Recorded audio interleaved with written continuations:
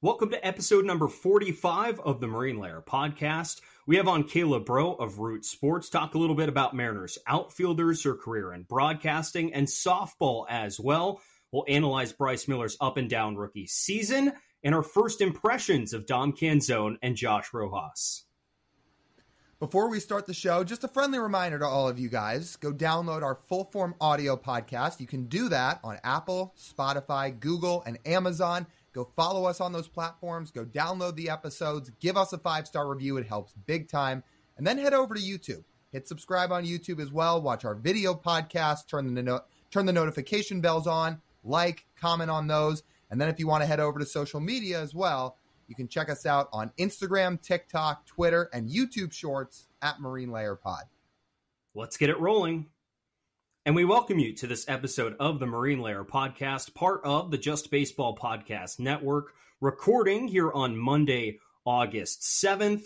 And Lyle, I'm here today to pro- proclaim the Los Angeles Angels are dead. Oh, they've dug their own grave. Actually, what am I saying? They didn't dig their own grave. The Mariners dug it for them. Off the backs of, of hard work and hard labor of Cade Marlowe. Well, he certainly was the table setter. Maybe he was a little bit more than that when you hit a grand slam in the ninth inning off a guy in Carlos Estevez who hasn't blown a save all season. That'll set the table. Now, the series didn't exactly go in the Mariners' favor in terms of lopsided wins the rest of the weekend, but wins are wins, and they won every single game.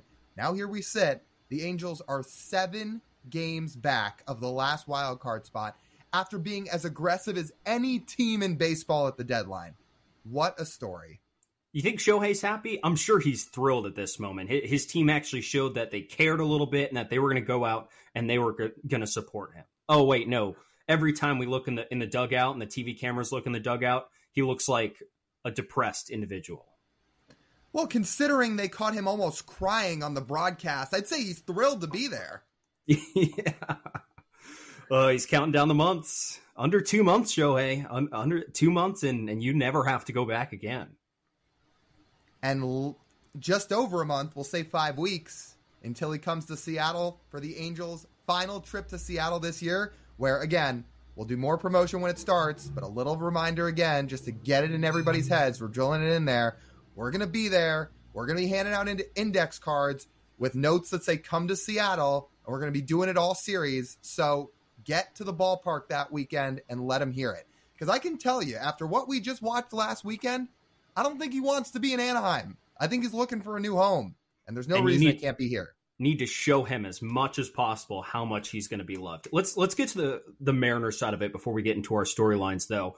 And how nice is it to see the the close wins, which we were talking about earlier this season, how the one run victories and the close victories just never seem to go their way, and yet against all odds and extra innings where the Mariners have stunk all all season long. Uh, on Sunday, Mariners are three high leverage guys short in the bullpen, and it looks early that Bryce Miller might not have it, and that he's getting hit around a little bit, and it's hot, and the bats aren't great, and yet the Mariners still find a way to finish off a sweep, and Tayler Saucedo goes the ninth and the tenth inning as the literally the last guy left in the bullpen, and it just kind of shows me where this Mariners team is at in terms of how they're feeling in, in winning games. And it feels like a little bit of that mojo from from last season and, and winning close games and doing all the right things. It's it's there. They've, they've been playing inspired baseball since the deadline.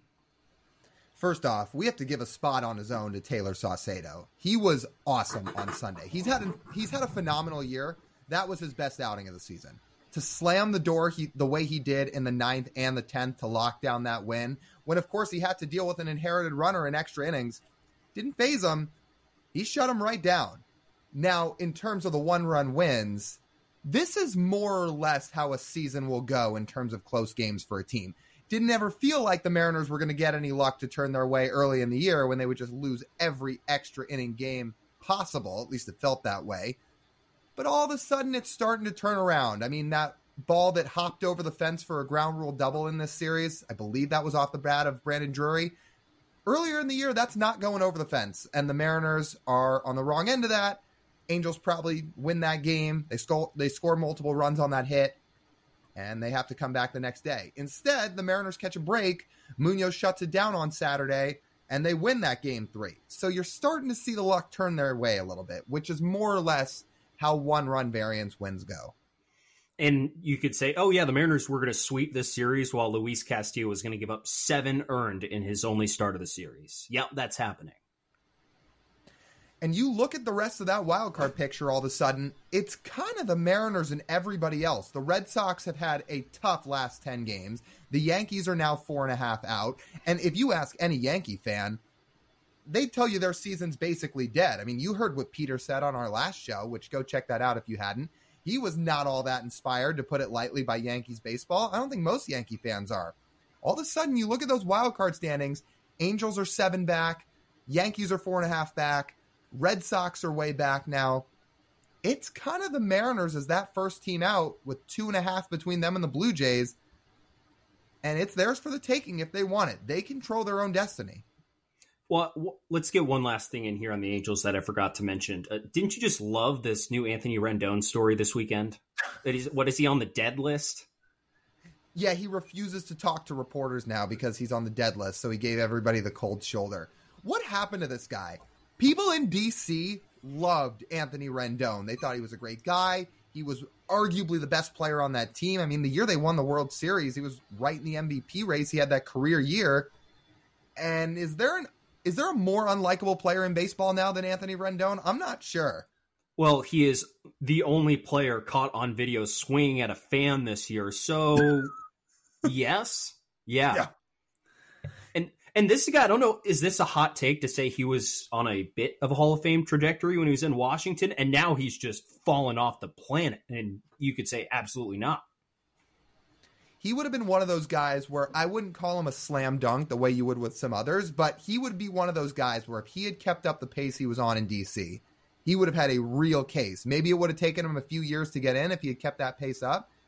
But there would be people out there making very, very relevant cases for Anthony Rendon. Not anymore. He's on a terrible contract. He's never on the field. And now, when he's in his extra time, his extracurricular activities involve trying to fight A's fans fighting A's fans and being an ass to the media.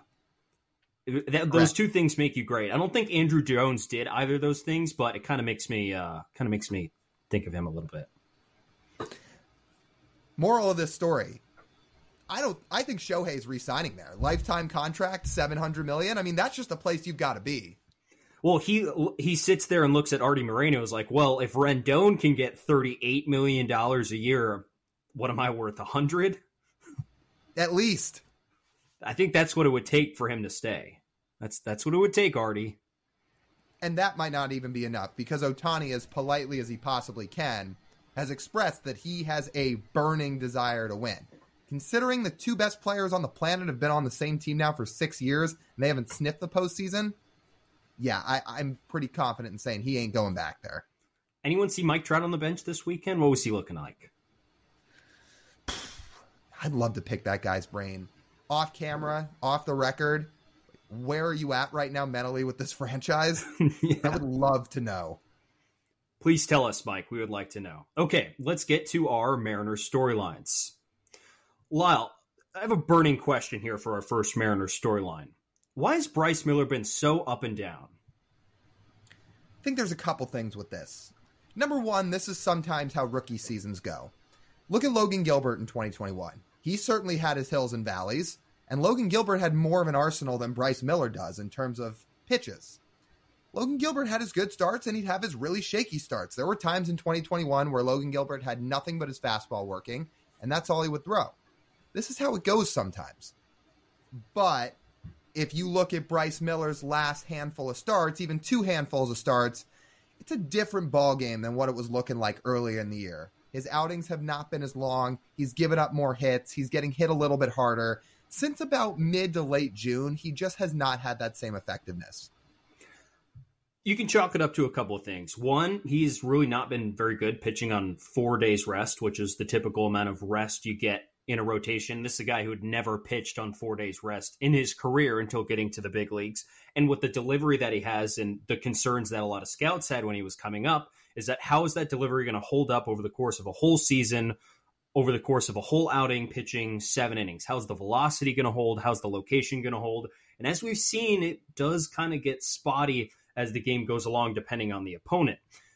There's a couple of things here. His hard hit rate has really skyrocketed this last bit. Now, I, I don't necessarily correlate that to him not holding his velocity very well.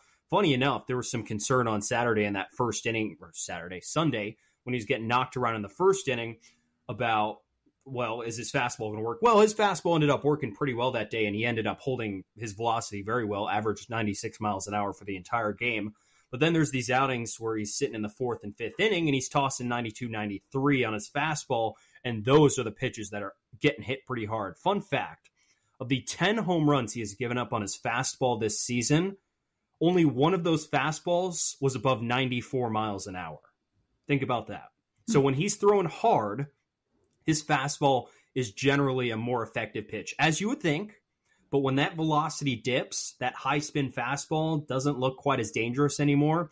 And with his shaky off speed pitches, it really comes back to bite him in that sense. That's what I think it really all boils down to. Like Logan as uh, as a as a rookie, if his fastball's on, he'll be on. If his fastball's not on, then buckle up along with the fact that when you are as fastball reliant as Bryce Miller is, he's about 65% fastballs in terms of his pitch selection.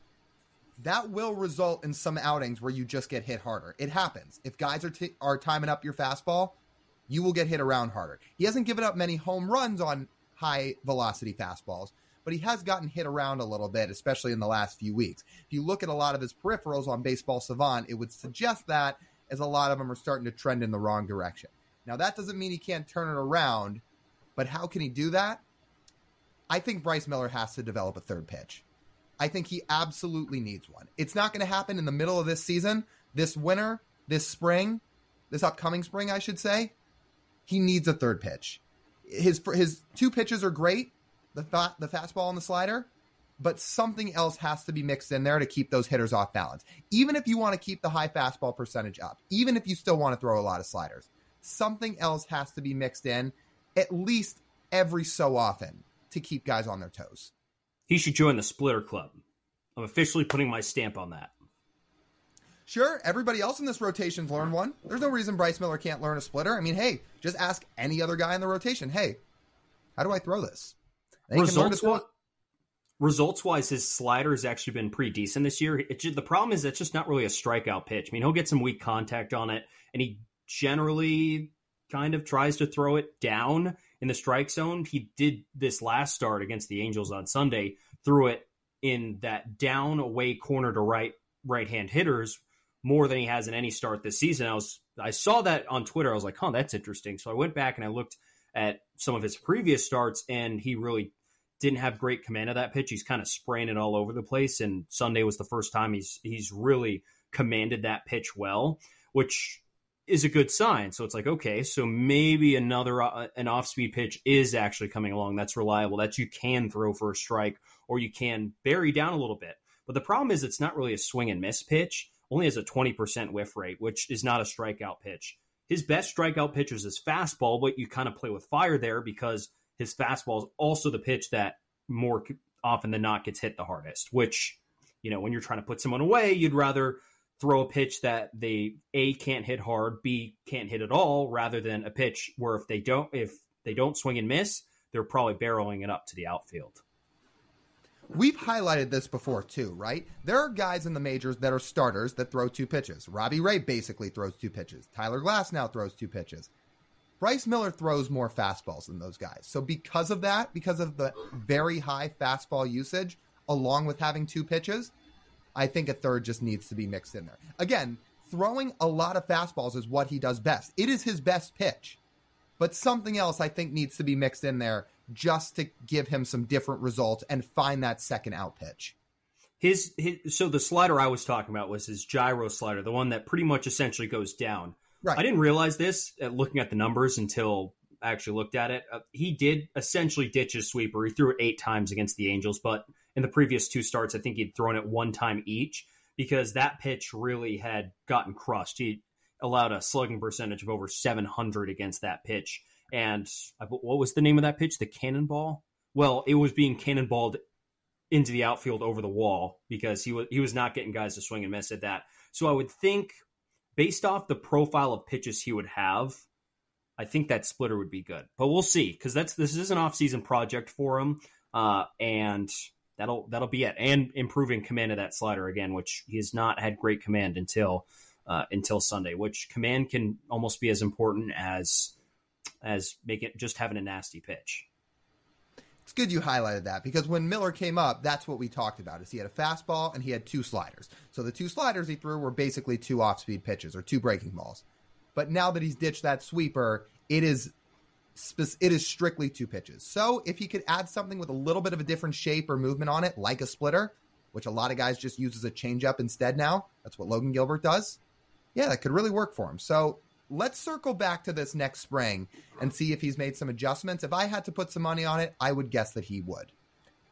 Second storyline here. Let's give an evaluation over the first week of the two newest Mariners, TJ Dom Canzone, Josh Rojas. There's not a huge sample size, but we can take away what have we seen in the first week out of these guys.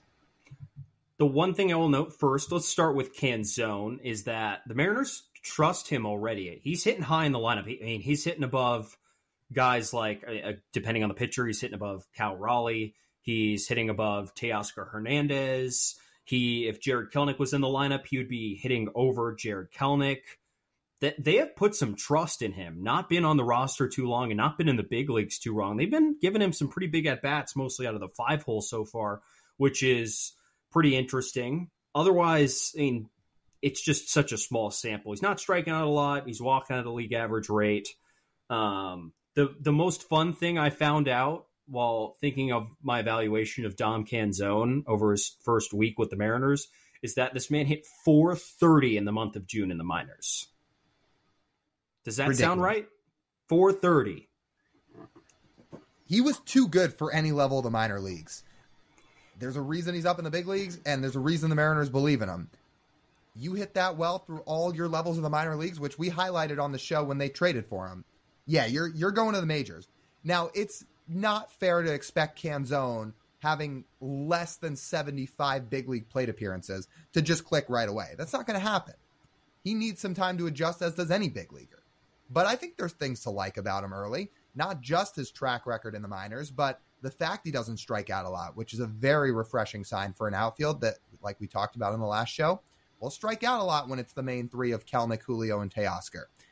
So he doesn't strike out a lot. Bat to ball is pretty good. I mean, you saw him spray that ball the other way for a double in left center field in one of his first few games at home in Seattle. So you can he shows that he can go the other way a little bit. But there's only so much we can take away, and you just said the same thing. You you only play a handful of games so far, like Canzone has. We're going to need a little bit more of a sample size because the other thing too is he wasn't playing much in the Angels series. Angels have a bunch of lefty starters. They sat him as a result. We still need to see a little bit more. Yeah, that was the other thing I, I, I noted that him and Rojas, who we'll touch touch on. I mean, they've kind of paired him in a platoon here so far. I mean, if it, if there's uh, if there's a righty on the mound, those two play. If there's a lefty on the mound, they're putting Dylan Moore and Jose Caballero in the lineup instead.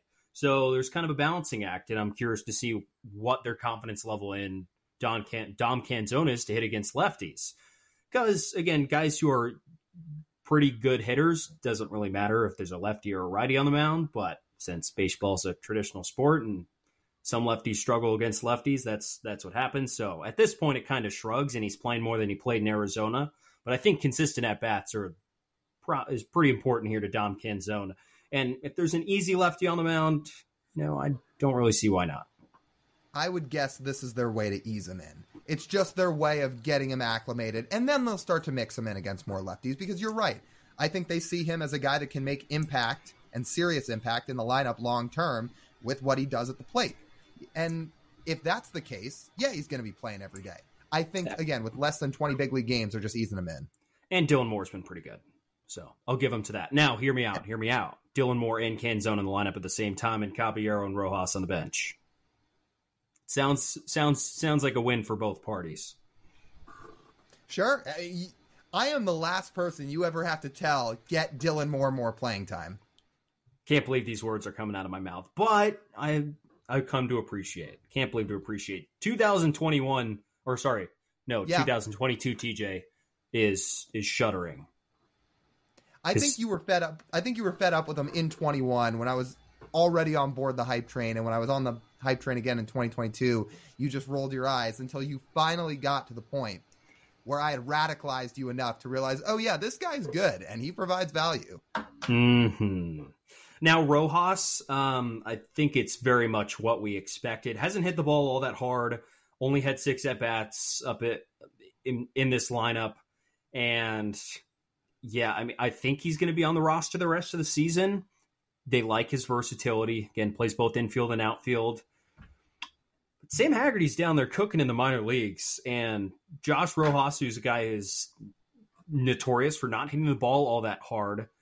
In again, his small sample size and six at bats has not hit a ball harder than 93 miles an hour. So take that as you will in my short analysis of, of Josh Rojas. We're going to contradict ourselves a little bit here because we were just talking about with Dom Canzone how a guy who's had that little big league experience needs time. You've got to ease him in.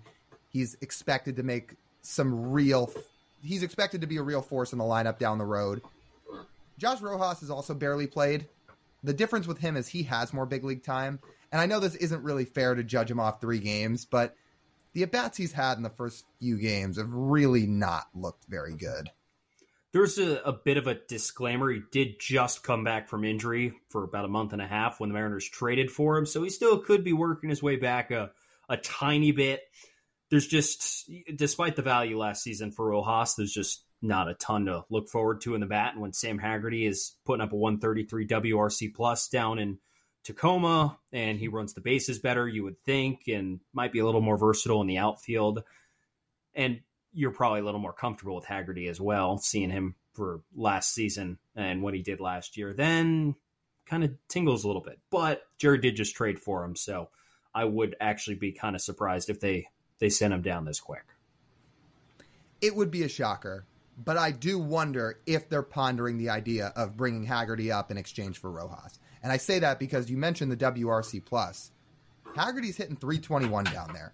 He's OPSing 987. He's hit eight bombs. I know the PCL is a bandbox. We say it every show, every time we talk about AAA. We acknowledge it.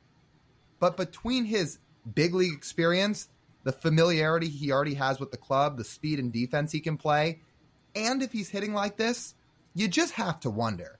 Because the whole reason Haggerty got sent down to begin with is he wasn't hitting. But if he's hitting this well in Tacoma, you have to wonder if they're starting to mull the idea of getting him another shot. It'll be something to, to keep an eye on. Uh, I, I, look forward to revisiting this probably in about a month, or we'll probably at the end of the season when we when we conclude and, and wrap up, we'll have a we'll have a better sense for what these are. But just a week of review say that. I still can't believe he Dom Canzone hit 430 a month. That's kind of absurd. Uh, I, our, our, friend Jeremy, who again, works for the Mariners and is in Tacoma, uh, he said, "quote like Canzone was the best hitter in in AAA he saw all year," and I'd say that uh that 430 mark kind of kind of checks all the boxes. The numbers back it up. Again, it's very similar to what Mitch Haniger did in the minors. When you look at their careers in the minor leagues and when they got up got up to the big leagues, similar. And they both got traded to Seattle from the Diamondbacks. I, I'm not saying Canzone's going to be exactly that. I'm not sure Canzone has the same raw power that Mitch has, but I think there's a reason to believe he could be a good bat. We just got to give him a little time. And we should say, too, again, we're probably contradicting ourselves a little bit with Rojas. We shouldn't write him off after three games. He may turn around the next week and everything starts to click for him. But we're just judging off what he's done the first few games. We had a really fun conversation with Kayla Braud. Yes, that's how you pronounce it. It's pronounced B R O. It is spelled B R uh, B R A U D. So don't get it confused, bro. Right, bro. So it, it was a fun conversation. It's good to get her perspective. An analyst on Root Sports also does a ton of work in college softball, which I have worked in as well. So good to tie in that, and it, it is good to get her perspective on a bunch of things. And I feel like we're uh, we're doing a good job of making our rounds in uh, in Root Sports. Yeah, we've had a lot of root people on so far, which is great. Kayla is seriously awesome. This is her first year on Root and doing Mariner stuff. So if you're not familiar with her yet, this is a perfect chance to get familiar with her because re- she's really smart, outgoing, really knows what she's talking about, and overall was a really fun conversation. So hopefully you guys will start to get to listen to her and see her around more often on some of the Root broadcasts, whether it's pregame and postgame. She was actually on one of the broadcasts doing color commentary this past week. I mean, she's awesome. She really is. So we're excited to have you guys hear this conversation with her. All right, let's not waste any more time. Let's get to our interview with Kayla Braud. All right, we've got Kayla Braud on with us. She's a Mariners analyst for Root Sports, college softball analyst for ESPN. Are we saying your name right? I mean, we tried to do our homework on this before we had you on. Yeah, it's Kayla Braud. So uh, my dad is from Baton Rouge, Louisiana, and the AUD is, a, is another version of the EAUX. So it is you don't pronounce the D, and it's like you know how they do the GEAUX for LSU, like Go Tigers. That that's where I'm at. So it's it's Kayla Braud. Like, what's up, bro? Did you do you think it could possibly be cooler though with the EAUX on the end of it? Okay, yes. However, so I went to Lafayette. I called a game um, at Louisiana, which was the formal, formerly known as ULL. And a guy was telling me, and I don't know if he was like pulling my leg or not, but he was like, "Oh, you're with the Smart Bros." And I was like, "What do you mean?" He's like, "Well, if you were illiterate, you put an X at the end." So I was like, "Oh, my family was the Smart Bros." I was like, "I feel like you're pulling pulling my leg, but I will freaking take it." So. What's the worst somebody's ever messed up your last name when they've tried to say it? Um, brand probably they just flip the U and turn it into an end. I get broad, and then people, my one of my teammates used to call me a dumb broad one time. You know, that's that's that's it. But uh, it never gets. The only time it gets pronounced correctly is when I go to Louisiana. Well, that's good because I'm thinking like you played four years of college softball in, in the SEC. You're on TV all the time. I mean, you make it a point every game before every time before the game started, you go up to the announcers. Uh, by the way, let's let's let's get this straight, so I don't retweet a highlight of you saying broad instead. Yeah, you know, uh, for the most part, uh, people are really good about asking because I think even if you just look at my name, you could mess it up just by looking at it. So uh, yeah, I make sure, but I also like sometimes I'm like I don't want to be a jerk and be like, well, it's actually bro, please, but it's your name, so you want it, you want it to be right. Well, that's awesome, and and I know you've had a nice journey now through through broadcasting, and this is your first season at at Root, and you you were just doing the game last night, and we figured it's kind of a pressing topic and pretty relevant to the time we're recording this that the Mariners just win, headlined by a grand slam in the ninth inning from Cade Marlowe, where we figured the outfield was kind of a subject to headline here because as it looks right now, they've got some new faces in there between Canzone, between Marlowe in the last couple weeks. And we figured we'd just touch on a few of them with you. And to start with the guy that's headlined it all in the last few days, in Cade Marlowe. I mean, what have you seen from him that's kind of made him pop so much in the first couple weeks up here? Yeah, well, I laughed. I was looking at the things that we're going to be talking about today, and we talked we had you guys had this plan to talk about the outfielders yesterday before the game even started. So how perfect was it that Cade Marlowe goes hits a grand slam in the ninth inning? It, it just felt picture perfect today. Um, now Cade Marlowe has been, I think, a pleasant surprise. I don't think anybody had really high expectations of what he was going to be able to do. I think they saw him as a kind of a puzzle piece where you could put him in, plug and play, and kind of work around the Jarred Kelenic injury. That being said, where he's shined is he has had some really, really good veteran at bats that we've seen early in his career that you would expect out of somebody that's been playing the game a lot longer than he has at this level. So, first and foremost, he has really good ABs. I think he's got a really good eye at the plate. Um, obviously, there's limitations because when you are a rookie, when you haven't seen major league pitching like that, um, it takes some transitionary time, so it's not perfect every single time. But he grinds out at bats. He puts bat on barrel He's got a really simple swing. Like he doesn't have a, you know, beautiful, perfect swing that you're going to see some of the best hitters have in the league, but he's short, he's simple, doesn't have a lot of extra movement, so that allows him to get his barrel on ball very often. So those are some things that that I've seen. It starts with his at bats first. And you know, second of all, like I think he's a good base runner. He's going to play a solid outfield for you. Um, and you know, last night was a great example of kind of the resiliency that you're going to see out of Cade Marlowe. So he gets two, like I think it was like 98 mile an hour heaters at the top of the strike zone that he whiffs at. And obviously, you know, Angels saying, let's go at it again. Like, this kid can't handle this stuff. Like, he's late. He's way under. And Cade Marlowe did a really nice job of making an inbound adjustment. He gets his barrel head like perfectly on top of the ball. Because I mean, again, at that level, you have to stay on plane, even kind of almost react above the plane of where you think it's going to be to make contact. And I thought he was under, under, and then boom, was on top of it and crushed a ball out of the park to give the Mariners the eventual win. So I, that's what I see. It's a long-winded answer, but that's what I see out of Cade Marlowe. I think you know he's got a lot of learning to do, but the the base and the foundation looks solid.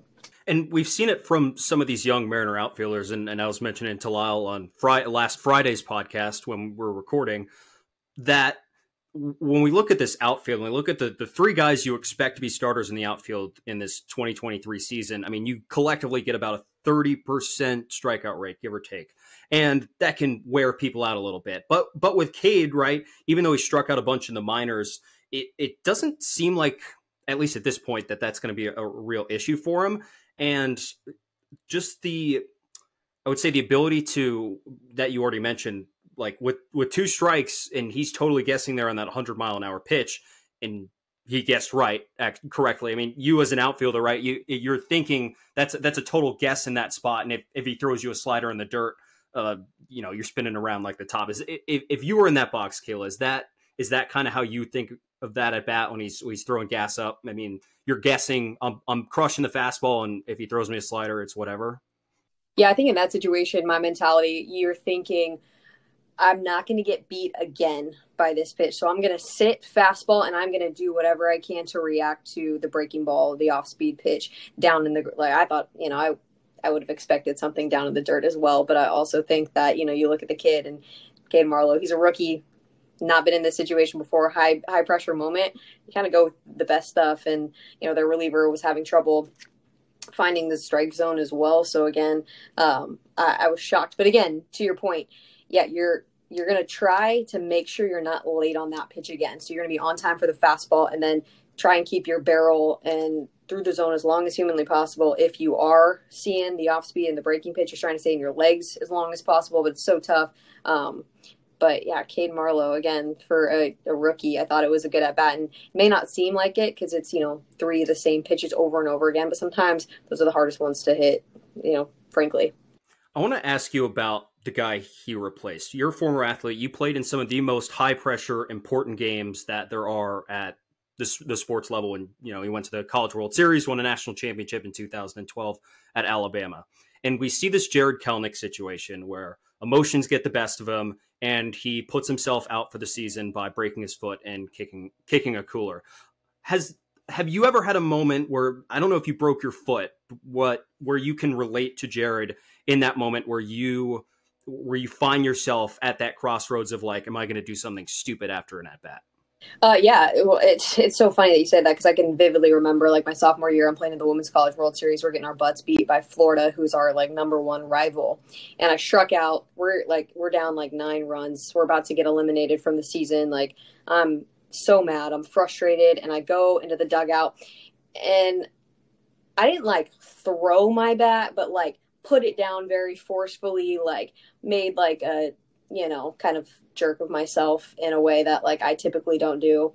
And my coach, uh, my college coach at the time, got us in like our huddle in the next inning, and he like called me out in front of the entire team and was like, "You lack leadership.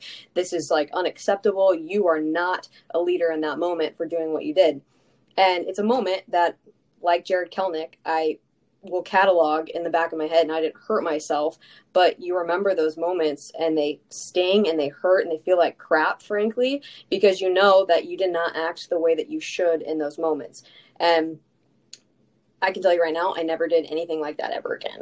And I hope that's the case for Jarred Kelenic in that learning moment where he does something that, you know, unfortunately injures himself. He takes himself out of the game and now you have to have all these pieces fill in for him. And he was having a fantastic year. So I hope the mentality for him uh, shifts and he understands that he's too valuable to act like that. And, and uh, for me, it wasn't about injury, it was about value of being a leader and being impactful on my team. So I think that's what Jarred Kelenic's going to be able to appreciate, move on for, from, and learn from. And like I said, I just, there's not a world where Jarred Kelenic does something like that again. I was going to say, I think this all ties back in well, both your story and his story, because one, to your point, I don't think he has a situation anything like this again. But I think fans sometimes forget to remember that athletes are human. And you just gave a great example of it. I mean, you were in a situation where it was incredibly frustrating in a game you were losing. For him, it was a, guy that's one of the best closers in the league. It was a game the Mariners really needed. And I think fans sometimes sitting at home watching on TV just assume that every time you strike out, you're just going to shrug and forget about it. Oh, you know, the whole shake it off for next time type of mentality. It doesn't really go like that. I don't think anybody's happy that Kelenic broke his foot because he was a guy that was really relied upon this year. But I think people sometimes could do a better job of just realizing this game is so hard and these guys want to win so badly that just sometimes emotions do get to you. Without a doubt, and and that's the weird thing about being a fan and maybe not experiencing something at that level is everybody wants you to be ultra competitive. They want you to go up there and give it every single piece of yourself to the game, to winning for the Mariners. And then when you fail in those situations, they want you to be cool and humble and like, hey, be smart in those situations. And it's a very fine line. Like when you talk about writing like going over the edge either way because again you don't want somebody that doesn't care or is uncompetitive and you don't want somebody that takes those moments and kind of again um, hurts themselves or does something stupid or jeopardizes the success of the team. So um, for fans that want all of those things in a perfect world but you know Jarred Kelenic so many other athletes they're human and it's not because he's selfish it's because he wanted to win. Like he, he's, he wants to win. Like the dude is a winner at heart and i think that's where i can really relate to him. I hate losing like that feeling of walking off the field when you had an opportunity to win the ball game for your team and you don't come through is a sickening feeling. And, again not many people can say that they felt like that uh, in a big moment in their careers so again appreciating that everybody is human and there's going to be some times where you have learning experiences like Jarred Kelenic and you move on and you still are upset, but you don't do something like kick a cooler next time. Maybe go to the corner, you know, get your frustration out, you know, stay within your your body, not not not kicking or punching stuff. Yeah, maybe next time he can just break a bat instead. That way, it's just like a hundred dollars out of his back pocket instead of his foot. Yeah, I think there's like a punching bag in the clubhouse or something like that. Maybe you can go use that.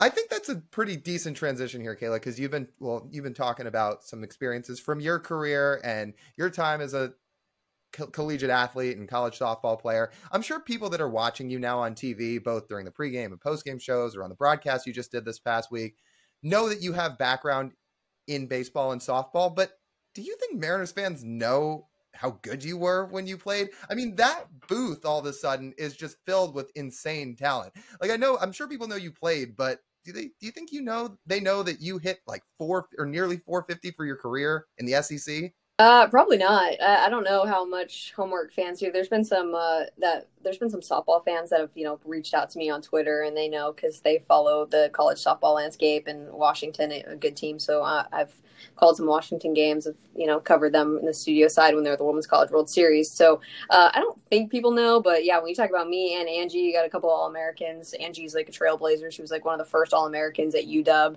um, playing softball and played professional baseball. Actually played professional baseball with my assistant coach at Alabama. So I actually had some ties to Angie. Um, before I got this job at Root Sports, but um, I don't think people know, and I think uh, I don't I don't necessarily uh, care if they know. I want to have, I, I want to feel like I have credibility, which I, I think I do. And um, obviously, I, I, didn't suit up at the major league level, but suited up at the highest level in softball that you possibly can, playing collegiately and playing for a national championship on a big stage.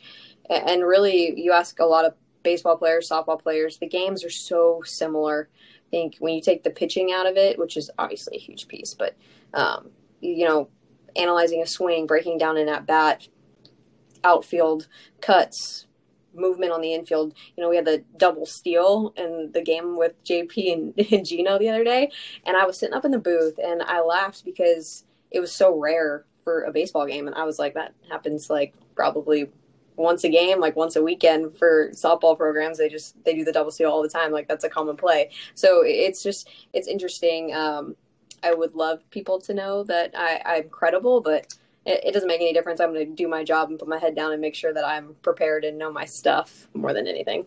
if you ask anyone who looks at ratings, they, they would know that college softball is one of the fastest growing sports on television. No, you know, uh, part to your coverage and, and ESPN's coverage as well with the Women's College World Series. So if someone hasn't started watching college softball, what's your pitch of why they should? Yeah, well, if you like the transition of baseball this year going to the pitch clock and how much faster it is, you're going to naturally already like softball because it has the same elements. It has those big moments, the home runs, the incredible athletes making phenomenal plays, and it's faster. So if you like the speed and pace of the new style of baseball, you're going to get that from softball. And even the defensive plays that you're going to see, I think, is really cool, are even faster because turning a double play in baseball is relatively easy. Like turning a double play in softball is extremely hard because you have about you have under three seconds to make a play and, and get the ball over to first if you want to have success throwing somebody out. So again, the pacing is really good. Um, it, college softball there's not really a professional league right now. They're they're trying to work on it. They're trying to implement professional softball. I think we got a long way to go before it becomes like a really really great product. It's a good product right now, but it's just there's uh, you know they're trying to get some footing under them to make it successful. But the college game right now is just unbelievable. And there's some teams like if you haven't watched Oklahoma softball, that might be the best softball team of all time that are hitting the field year after year in the last two seasons just because their ability to hit the home run. They're hitting like more than 130 home runs in 60 game spans a year. It's it's unbelievable. Strong, really talented females kicking ass out on the field. I'm glad you brought up Oklahoma because I really just have a burning question. So, last three seasons, they've gone 176 and 8 with three national championships. Eh, does it at some point does it stop being fun to win all the time? I don't know if it stops being fun to win all the time, but like, oh gosh, this is gonna sound bad, but like from a coverage standpoint, you just like, well, they're good again. Like, duh, it, it, you know, I want I want the competitive games. I want them to be um, challenged every single game. I want somebody to dethrone them. That makes covering the game more fun. But as a player, I can tell you right now, I loved beating the brakes off of people. Like that's the best part. So for them, they're having the time of their lives, just beating everybody and dominating almost every single game that they play. But uh, from a fan perspective, like I would love to see a little bit more parity. Um, but again, it's making our whole sport better. Like they are making everybody have to rise and continue to get better and have these really dynamic a- athletes that kind of like a Julio where you can like hit for power, you can steal bases, really strong, but also extremely fast, can do everything like, you know, the five tool players or whatever that you talk about. Um, that's what they are right now. Like a bunch of them. the only bar they have left to clear is go undefeated and win a fourth consecutive. And that's it. Yep, that right. That's that's all that's happened, and I, I don't think anyone's ever won four straight, have they? I'm trying to think. I don't think UCLA ever did. I don't think so, or Arizona. I don't think so. They traded off for a decade, but that's it. Yeah, they did. Yep, the three-peat I think is it. So yeah, Oklahoma might do it, and I know they just picked up another big transfer out of the portal yesterday. So, um, so it's only going to get better. How different is it for you to break down baseball versus softball? I know you touched on it a little bit a minute ago, but when you started doing the Mariners games this year, was there that much of a transition? Uh, the transition, I think, for me, is there's so much more data in baseball. And there's a lot of, um, you know, the new sabermetrics, all of the StatCast stuff that just expands. So, I, I mean, I would find myself prepping for a baseball, you know, covering a studio show where, you know, maybe talking for 10 minutes and I'm down a rabbit hole for two hours looking at somebody's stats, um, you know, on Wednesdays and facing left-handed pitchers like in the month of May. Like, you know, it's just insane how how specific you can get, and um, that's where the biggest challenge was going into baseball is in softball you have limited data and it's still really good data and we continue to grow it every single year. We're like there's so many new um, metrics that are coming in for our sport of softball but you just didn't have it. So you had to really really buy into the game that was on the field. In, in, baseball, there's just so much more that you can really analyze and look at spin rates, um, expected averages, and all that stuff. So it's just really interesting, um, weighted stuff that doesn't exist in softball. So understanding all of those and how they play into the game has been the biggest transition. And I think after that, um, obviously the pitching is different. Just getting a feel for like I've been watching baseball my whole life, so I, I know what all the pitches are. But again, train changing your mentality to think about at bats coming from those pitches and that style of movement versus a softball pitch that's coming in flatter, has the rise ball, has um, just a different movement plane. To be quite honest, that's really it. Uh, that that's all it changes is the plane that the pitch is coming in. So that's really that's been the biggest challenge. How has the softball community embraced analytics? Have teams been rushing to get it, or is there still some hesitancy? Um, yeah, teams have been rushing to get it. I think that's what you see is now every um, school is adding to their staff some kind of um, analytics uh, hire. They're having people that um, look at the data that like monitor every single swing and look up the algorithms best for your starting rotations, your starting lineups. We're seeing um, pitching change too. So um, because of a lot of that data and because of how much uh, information hitters have in softball now, which is new, you're seeing less complete games from pitching. And so you're seeing more baseball style pitching, which is going to be a starter role and then probably a reliever to a closer role, um, which, like, when I, even 10 years ago, when I finished my career, maybe you'd have like four people on the staff, your pitching staff. Now you're getting like six or seven pitches, pitchers on the staff, which is, again, so different than what it used to be. But yeah, it, it's, it, it's changing the game for sure. Um, I think there's going to be some a transition um, to being comfortable with it and getting hitters in the right mentality to be able to use it effectively. But it's it's it's, it's part of the game now. And you said baseball has more data. I, am curious, is that on the pitching side compared to like all, all the numbers you have for someone's spin rate, spin axis, you know, uh, I forget all the other terminologies that are dug into baseball savant, but but all the all those other things that you look at. I mean, I feel like that's that's where most of this looks at of how people you know attack their repertoire. Is is is that something that uh, you think needs to be added a little bit more on the on the softball side? And if so, how would it affect how people pitch? Besides just the strategy of like using your pitchers, what type of pitches do you think it affects the most? So that's a it's a great point, and I've seen in more and more bullpens they're having the like the technology that can read all of those metrics that they can read the spin rate, and that's what's interesting. You talk to some of these baseball pitchers, and there's like a, an algorithm that can tell them, hey, if you move your finger like a quarter of an inch, you know, a little bit further north, and you release it, and you put like a tiny bit more pressure on this point right here, your spin rate will go up. Like there are like ways that you can teach and tell a pitcher how to improve their release point and their pitches immediately with the technology. And now we're starting to see that in softball where you're getting immediate feedback on, oh, that pitch didn't have as much spin. And here's why. That pitch didn't have as much movement. Here's why. Here's what you need to do. And here's the, the point of release that you need, the, the grip that you need to have to better those pitches. So um, that's where I'm going to see the biggest change in softball and pitching. And I think you're going to see it affect pitches like the rise ball a lot the rise ball is the most deadly pitch. It's like the high heater in baseball. Instead of just sitting flat, you know the best fastballs at the top of the strike zone. The four seamers are the ones that don't dip down with gravity as much as the other ones. Well, the rise ball defies gravity and it actually comes up. So if pitchers improve that pitch, it's one of the hardest pitches to pitch hit and you see all these like softball pitchers that go out and face baseball players and they strike them out. It's they throw the rise ball because you just baseball players aren't used to it. They have no chance. so that those are the those are the types of pitches that it will definitely impact. Will you guys break this stuff down on softball broadcasts a lot? Like I know in baseball, some broadcast teams decide to throw analytics into the broadcast. I think the Mariners do a really good job of that. Some don't. Like, do you guys talk about it a lot? We're starting to. Yeah, we um uh, specifically at ESPN, they just uh, partnered with like a 643 charts, which is a, a database company that just has all of that stuff on hand. And that's becoming more common is to import that into our broadcast and really analyze that data show video to back it and support all of those types of things. Things that have been baseball for a while now those are starting to come through a little bit more. And um, even just like kind of there's like speed ratings now in softball. That wasn't a thing. Um, all of these new algorithms that help you measure not only the value of a player from just like oh they can hit the ball really far. Like there's so many other uh, things. Their exit velo how fast they're getting around the bases um, their quality abs all that all that kind of stuff. We're we're inserting that into our softball broadcast a lot more because i think what's different is softball started and people had to be taught.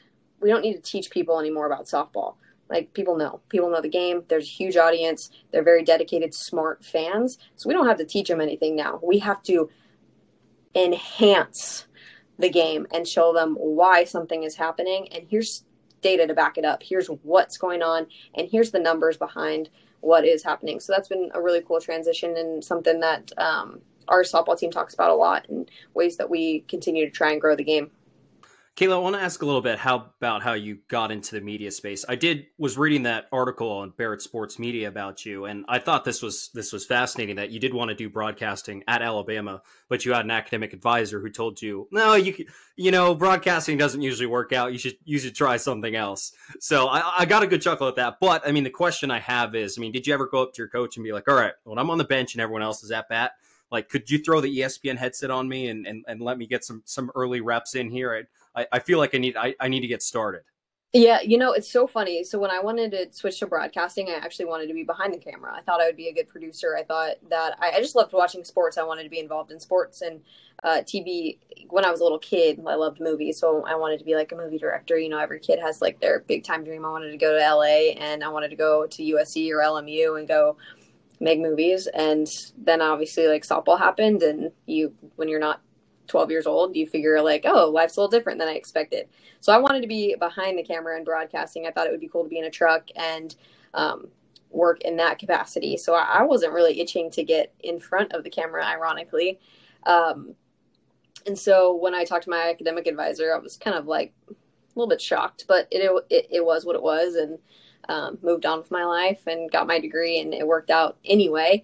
But um, when my boss called me from ESPN and said, "Hey, we're starting this thing called the SEC Network. Do you want to be a part of it?" I like jumped at the opportunity. I was all about it, and you know when I was playing, and I didn't realize this at the time, but a lot of girls on my team didn't want to do like the newspaper interviews every day. Go talk to the media because we would have media sessions uh, once or twice a week that you know the Tuscaloosa News would come by or the student newspaper or the local news outlet, and I was always the you know sacrificial lamb to go out and do that kind of stuff.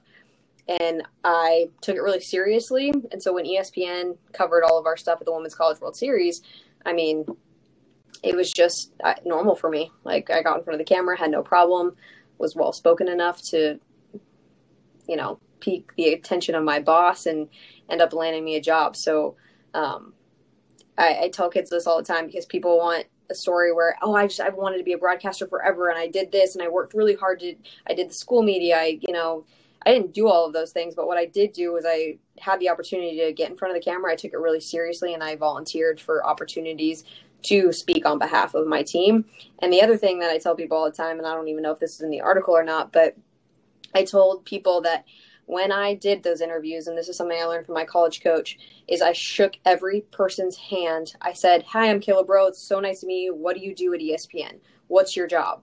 And my boss at ESPN remembered that. She said, You treated everybody really nicely. You asked them what position that they did. You were just excited to be there and happy to be there. And that was a big piece on why you stood out. So uh, you just never know what a handshake and just being the best version of yourself can do and not shaking off opportunities to build your brand or um, be a, a, good representative of your university at the time or your job or your life or whatever it is, you know? What pushed you to still do broadcasting anyway? Like even after your academic advisor said don't do it, because it's two people who have sports journalism degrees and see all these people just give up so fast and we're in the early stages trying to figure it out. Sports media is hard but you've you pushed through it and made it happen for yourself anyway. So what really still pushed you to continue with it? Yeah i can tell you right now what pushed me was the feeling that i got the first time i was in the booth. So i got thrown into the fire. Like i got hired at espn and my first job was go be in the booth with michelle smith who is like our lead analyst at espn so I sat in the booth with um, Pam Ward, who calls it WNBA games now, college softball games, you name it for ESPN, and Michelle Smith. And I can tell you right now, I got the same like good butterflies, adrenaline, that same feeling that I got when I played. And I thought to myself, oh my gosh, I don't think there's another job on the planet right now that will give me the same feeling like suiting up and getting out on the field and going playing a game because you have to perform. You have to be the best version of yourself. You have to like be ready to um, and prepare to tell a story. And um, that really got me going. And that's kind of when I knew I was like, okay, this is for me. And that's kind of been the driving force um, behind continuing to grind and work at this job. And I can tell you, I've, I've had years where it's been, hey, you're only doing 10 games and you, you just you're dying for reps and you want to continue to get better.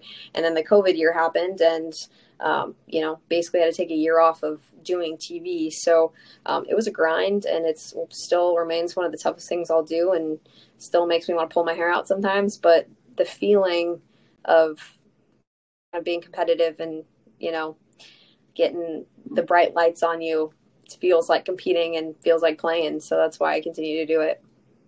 And the thing for you is you're a true student of the game. I read that you're you were watching Kirk Herbstreit is one of my favorite, and then like taking notes, like how does he break down a play and and all these other things. Who are some other people that are like really good to learn from? Of this is this is what qualifies good analysis. Yeah, you know it's so interesting because the people that I like to listen to are really clear. They find a way to explain the game to you in a simple way, but with confidence and um, kind of a unique way. Like I like listening to Doris Burke and Kirk Herbstreit. Um, yeah, she's on our softball team, but Amanda Scarborough is one of my favorite people to listen to. Uh, she breaks down the game in such a unique, cool way. And so when I think about all of the the people that I really like to listen to, the the key piece is they're very clear and they explain the game in a way that's not overcomplicated but not dumbed down like they relate to the offense the, they relate to the audience i feel like they're talking to me when they're talking about a game and they know when to be light and to have fun and not take the game in themselves too seriously and, and that's what i want to do is i want to make sure that i am still myself but i want somebody to leave a game that I've called or a studio show, I'm like, oh, that's a really good insight. It's a good way to look at it. It's a unique perspective. That makes sense. That's that's what I want viewers to walk away with, and that's what I always look for when I'm listening to somebody call a game. And you know, I think it's been really fun this year listening to all the Mariners broadcasts because I think every single analyst in the Mariners organization and just on Root Sports has a unique perspective, and I take little nuggets from each and every single one of them, and it helps me become a better broadcaster too. So it's been really fun to be on this team too and get to experience some new people that do their jobs really well. If we had one last question for you, Kayla, is there a single favorite or best thing that you've been taught about broadcasting since doing it? Like, is there one single thing that you've learned from somebody and say, I've always back pocketed that forever? That is a that is an interesting question. Gosh, that's a really good question. Um, I don't know if there's been one thing that sticks out, but I can tell you right now. Um, I think about a couple people that really helped me in my career, and those two people. So they both were uh, hosts at the SEC network, and that's going to be Maria Taylor and Laura Rutledge. So I got they're like two big. They're so big time, and I'm so lucky because they were at the SEC network for about a year. And each of the times, my first three seasons, they were with me um, as the network started. And for both of them, I'll always thank Maria Taylor because um, she taught me the ins and outs of TV because at the time I didn't major in broadcasting, so I didn't know all of the ins and outs. So she taught me how to read a rundown and how to deliver things emphatically and um, how to pace myself throughout a broadcast and a show. And on the other side of that, um, I thought Laura Rutledge reminded me to be myself above like anything else. Like she is the most like charismatic, her unique self. When when I tell you guys like how she is on TV is how she is in person. She's like the nicest, most fun, like awesome person, and finds a way to keep things like rolling and throughout the show and she weaves in her own story she brings it back to you in the, this beautiful way and, and, she's again herself so um, in a world especially for a woman you know there's uh, a lot that people want you to be a certain way and they want you to not you know be yourself a lot of the time but those two women um, have really taught me to be myself and taught me a lot about kind of the foundational pieces of broadcasting um, so that's that for me, those were two very impactful people. But yeah, I think beyond that, um, I mean, I still learn something new every single day. well, that means you're just getting better and better every time because nobody's ever a finished product. That's right. Yeah, that's right. Well, Kayla, this has been awesome. We really appreciate all the time you've given us. We enjoyed having the conversation with you. It's been really fun getting to know you out at the ballpark, and we certainly hope to do this again soon. Right. Hey, right back at you guys. Uh, it's been awesome, and I appreciate you guys. I appreciate you guys, and uh, TJ and Lyle. I will see you back at the ballpark sometime. Really enjoyed that conversation with Kayla Braud. Hopefully, you guys got to learn a little bit more about the newest member of the Root broadcast team. Because, like we said before the start of the interview, she really is awesome, and we love getting a chance to talk to her. That'll just about wrap up this edition of the Marine Layer podcast. You guys know the drill. If you want to listen to the full form podcast, you can check us out on Apple, Spotify, Google, and Amazon. If you do so, go follow us, download our episodes give us a five star review. That really helps us big time. And if you want to check us out on the video side, head over to YouTube too. We do a bunch of stuff on YouTube. Go hit subscribe, like, comment, turn the notification bells on. That way when you'll you'll know whenever we post something. On social media, Instagram, TikTok, Twitter, and YouTube Shorts, go check us out. Follow us at Marine Layer Pod. That's TJ. I'm Lyle. As always, we thank you guys for tuning in. We'll talk to you soon.